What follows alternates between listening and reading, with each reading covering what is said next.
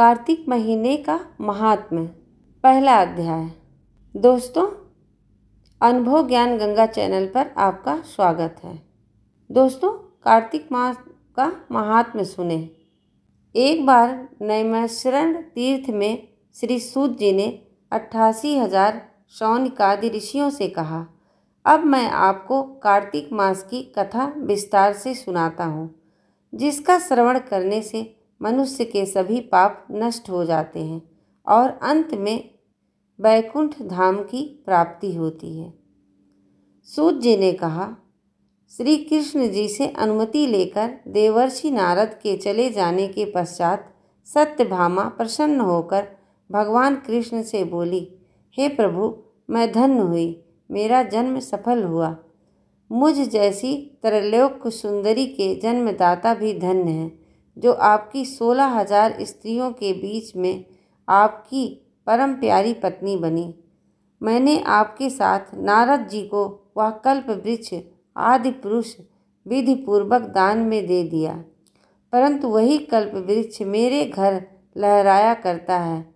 यह बात मृत्युलोक में किसी स्त्री को ज्ञान नहीं है। हे त्रिलोकीनाथ, मैं आपसे कुछ पूछने की इच्छुक हूँ। आप मुझे कृपया कार्तिक महात्म की कथा विस्तार पूर्वक सुनाइए, जिसको सुनकर मेरा हित हो और जिसके करने से कल्प पर्यंत भी आप मुझसे विमुख ना हो। दोस्तों, आप भी अच्छे से कथा सुनिए। सूत जी आगे बोले, सत्यभामा के ऐसे वचन सुनकर श्री कृष्ण ने हँसते हुए सत्यभामा का हाथ पकड़ा।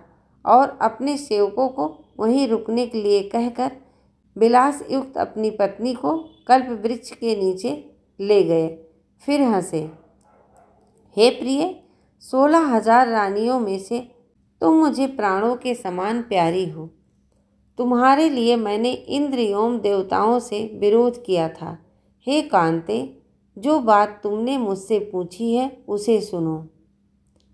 एक दिन मैंने तुम्हारी इच्छा पूर्ति के लिए गरुड़ पर सवार होकर इंद्रलोक जाकर कल्प वृक्ष मांगा।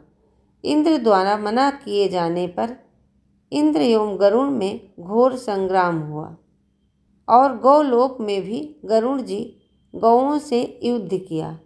गरुड़ की चोच चोट से उसके कान एवं पूछ कटकर गिरने लगे, जिससे तीन वस्तुएँ उत्पन्न हुई।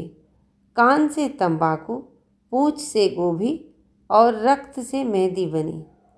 इन तीनों का प्रयोग करने वाले को मोक्ष नहीं मिलता। तब गौों ने भी क्रोधित होकर गरुण पर वार किया, जिससे उनके तीन पंख टूटकर गिर गए। इनके पहले पंख से नीलकंठ, दूसरे से मोर और तीसरे से चकवा चकवी उत्पन्न हुए।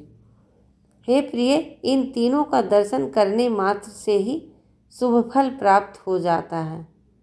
यह सुनकर सत्यभामा ने कहा, हे प्रभु, कृपया मुझे मेरे पूर्व जन्मों के विषय में बताइए कि मैंने पूर्व जन्म में कौन कौन से दान, व्रत व जप नहीं किए हैं। मेरा स्वभाव कैसा था? मेरे जन्मदाता कौन थे? और मुझे मृत्युलोक में जन्म क्यों लेना पड़ा? मैंने ऐसा कौन सा पुण्य कर्म किया था जिससे मैं आपकी अर्धांगिनी हुई? श्री कृष्ण ने कहा, हे प्रिय, अब मैं तुम्हारे द्वारा पूर्व जन्म में किए गए पुण्य कर्मों को विस्तार पूर्वक कहता हूँ। उसे सुनो। पूर्व समय में सतयुग के अंत में मायापुरी में अग्निगोत्र में वेद वेदांत का ज्ञाता देव शर्मा नामक एक ब्राह्मण निवास करता था। वह प्रतिदिन अतिथियों की सेवा, हवन और सूर्य भगवान का पूजन किया करता था। वह सूर्य के समान तेजस्वी था। वृद्धावस्था में उसे गुणवती नामक कन्या की प्राप्ति हुई। उस पुत्रहीन ब्राह्मण ने अपनी कन्या का विवाह अपने ही चंद्र नामक शिष्य के साथ कर दिया। वह चंद्र को अपने पुत्र के समान मानता था। और चंद्र भी उसे अपने पिता की भांत सम्मान देता था। एक दिन वह दोनों कुश व समिधा लेने के लिए जंगल में गए। जब वह हिमालय की तलहटी में भ्रमण कर रहे थे, तब उन्हें एक राक्षस आता हुआ दिखाई दिया। उस राक्षस को देखकर भय के कारण उसके अंग स्थिर हो गए और वह वहाँ से भागने में भी असमर्थ हो गए।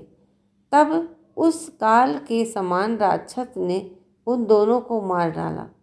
चूँकि वह धर्मात्मा थे, इसलिए मेरे पार्षद उन्हें मेरे बैकुंठ धाम में मेरे पास ले आए। उन दोनों द्वारा आजीवन सूर्य भगवान की उपासना करने के कारण मैं दोनों पर अति प्रसन्न हुआ। गणेश जी, शिव जी, सूर्य, योम देवी इन सब की पूजा करने वाले मनुष्य को स्वर्ग की प्राप्ति होती है।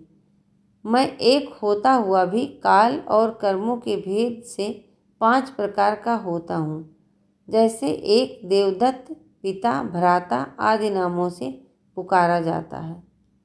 जब वह दोनों विमान पर आरूढ़ होकर सूर्य के समान तेजस्वी रूपवान चंदन की माला धारण किए हुए मेरे भवन आए तो वह दिव्य भोगों को भोगने लगे। दोस्तों, पहला अध्याय यहीं पर समाप्त होता है। दूसरे अध्याय के लिए अगला वीडियो ज़रूर देखें।